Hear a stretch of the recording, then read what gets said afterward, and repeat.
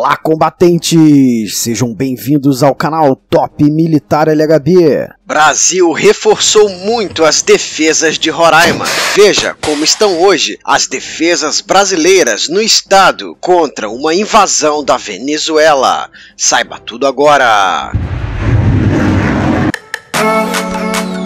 Hoje vou apresentar um site que você pode fazer uma renda extra ou até mesmo trabalhar na internet. Encurtou Link é um encurtador que te permite monetizar seus links e ganhar dinheiro a cada clique recebido. Se você é youtuber ou tem um blog, aproveite essa oportunidade de potencializar seus ganhos ainda mais. Ganhe também convidando pessoas para o site. Acesse já www.encurtou.link é o primeiro link no campo de descrição do vídeo. Com a recente ameaça de uma invasão da Venezuela ao território brasileiro do estado de Roraima. Como estão hoje as defesas do estado, 30 dias depois de que esta ameaça veio à tona? o que já foi divulgado nas melhorias das capacidades de defesa e o que se supõe que certamente já tenha sido feito para melhorar as capacidades de defesa do Brasil naquela região. Algumas destas medidas de reforço de defesa chegaram a público, especialmente as tomadas pelo Exército, que prioriza pela estratégia de dissuasão, e outras medidas não chegaram ao conhecimento do público por questões de segurança nacional, sobretudo aquelas tomadas pela Marinha e pela FAB, que priorizam a estratégia do sigilo. Mas quem conhece as estratégias militares e os protocolos de defesa acionados em casos de ameaça, pode imaginar o que já foi feito e o que vem sendo feito, e você vai saber tudo agora. Começamos pela Marinha. Muito embora o estado brasileiro de Roraima não tenha litoral, a atuação da Marinha do Brasil seria de extrema importância na defesa brasileira. E pouco depois das ameaças venezuelanas se tornarem públicas, o comandante da Marinha do Brasil, almirante Marcos Sampaio Olsen, disse que, abre aspas, a Marinha está pronta, acompanha, procurando adensar dados de inteligência que permitam antecipar passos para o posicionamento da força, fecha aspas, afirmou ele, deixando claro com isso que, além da atuação do setor de inteligência da Marinha estar trabalhando para antecipar alguma movimentação militar ofensiva por parte da Venezuela, para melhor posicionar os meios navais brasileiros, que também, em outras palavras, já havia colocado a Força Naval Brasileira em estado de prontidão para o combate. Para quem não sabe, estado de prontidão não é apenas uma frase de efeito, são medidas práticas que vão desde cancelar férias e aquartelar tropas, mantendo-as já armadas e equipadas, prontas para serem deslocadas ao teatro de operações, como também até mesmo já enviar as tropas, navios e aeronaves para o possível local do embate. E embora, por questão de segurança nacional, não se tenha divulgado movimentações dos principais meios de combate navais da base naval do Rio de Janeiro, o almirante deixa claro em sua fala preocupação com o posicionamento da força naval o que me faz supor que isso se traduza em duas medidas que ele possivelmente já tenha tomado. A primeira é ter enviado fragatas para a fronteira marítima norte, próxima à foz do rio Amazonas, entre os estados do Amapá e Pará, muito mais próxima do teatro de operações naval em um possível conflito com a Venezuela. E a segunda medida, que também se pode deduzir em estado de prontidão, é que a Marinha já tem enviado submarinos para águas internacionais muito próximas às águas venezuelanas, para em caso de ataque venezuelano a Roraima, os nossos submarinos já tenham condições de uma imediata pronta resposta no território inimigo, para atacar de forma furtiva aos navios de guerra da Venezuela antes que eles possam tentar se aproximar de águas brasileiras, e para atacar navios petroleiros e estações marítimas de extração de petróleo, que são as principais fontes de recursos da ditadura venezuelana. Além disso, embora não divulgado, é certo que os marinheiros do 9 Distrito Naval de Manaus, com seus navios de patrulha fluvial, já estejam patrulhando os trechos navegáveis dos rios do estado de Roraima, especialmente os rios Branco, Uraricoeira e o Tacutu, que são os rios navegáveis do estado, para garantir somente ao Brasil a circulação fluvial em Roraima. E certamente o primeiro e o segundo batalhão de operações ribeirinhas de fuzileiros navais de Manaus e de Belém, respectivamente, também já estão em estado de prontidão para serem deslocados para Roraima, para caso necessário, apoiar com ações de combate em terra ao nono distrito naval, para garantir que somente embarcações brasileiras possam circular pelos rios citados, e possivelmente os comandos anfíbios do Rio de Janeiro já estejam realizando ações de reconhecimento na região da bacia fluvial destes rios em Roraima.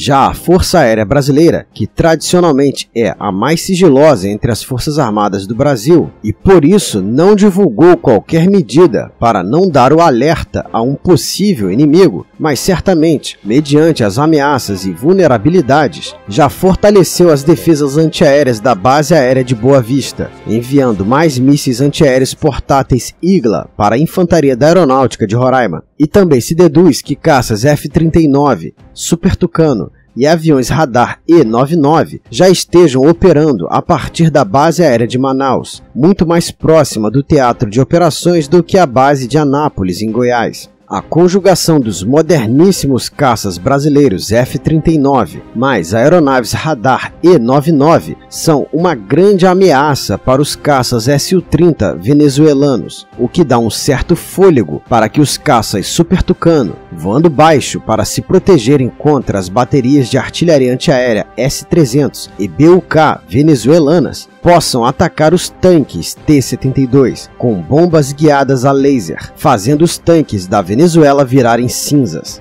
Embora ainda seja uma operação muito arriscada, pois a Venezuela tem milhares de mísseis antiaéreos Igla e outros sistemas de artilharia antiaérea.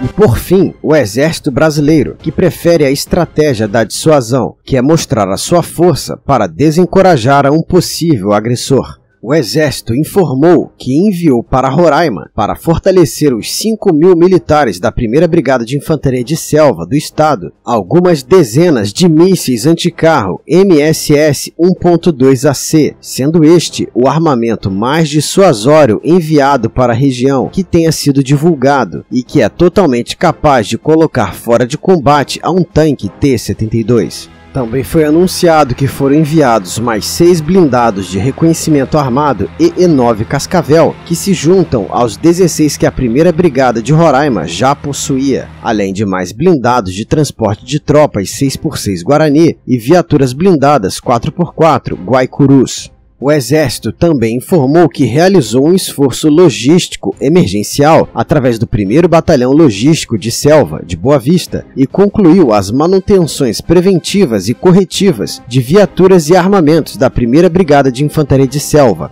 como resultado, foram disponibilizadas mais seis viaturas blindadas de reconhecimento EE-9 Cascavel que estavam inoperantes, também foram manutenidos e recuperados seis obuseiros 105mm L-118 Light Gun do 10 Grupo de Artilharia de Campanha de Selva, também de Roraima. Temos notícias também que as aeronaves KC-390 da FAB levaram toneladas de equipamentos militares do Exército para Roraima, e isso é público. Mas quais seriam estes equipamentos, além dos mísseis MSS 1.2? Agora vamos ao que não foi divulgado pelo Exército. Eu suponho que para minimizar as vulnerabilidades da defesa antiaérea da 1 Brigada de Infantaria de Selva, foi enviado para a região em sigilo mísseis antiaéreos Igla e RBS-70, provenientes da 1 Brigada de Artilharia Antiaérea de Guarujá, no litoral de São Paulo. Eu também suponho que os mais de 30 pequenos drones do Comando de Aviação do Exército de Taubaté, interior de São Paulo, também foram enviados em sigilo para Roraima. São pequenos drones dos modelos Mavic 2 e Matrix 330 que podem lançar uma granada de morteiro sobre a torre de um tanque T-72,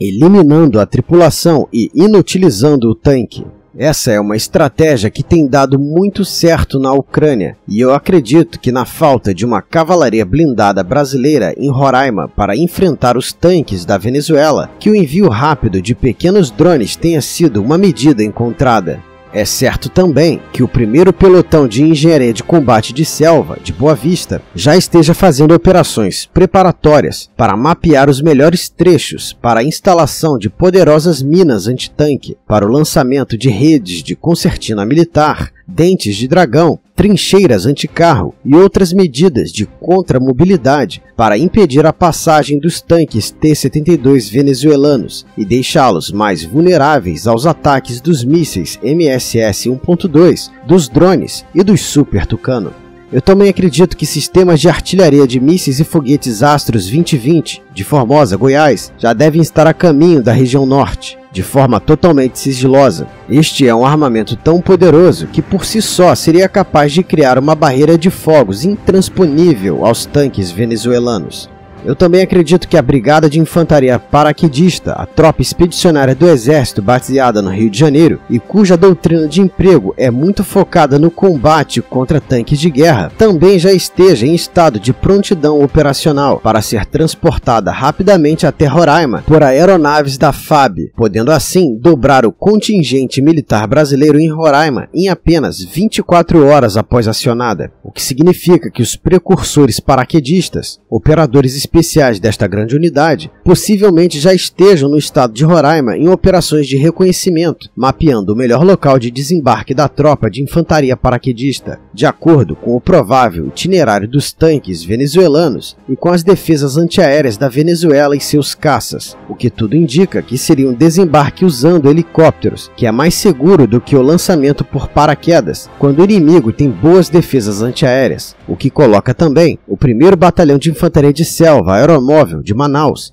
especialista em assaltos aeromóveis utilizando helicópteros, como outra tropa expedicionária do Exército que esteja em prontidão neste momento. E por fim, eu também acredito que os comandos e forças especiais, as tropas de operações especiais mais bem adestradas de todo o Exército brasileiro, não estejam apenas em prontidão, mas também já estejam no Estado, realizando operações de reconhecimento preparatórias para missões de emboscada contra os tanques venezuelanos e até de retaliação no próprio território venezuelano.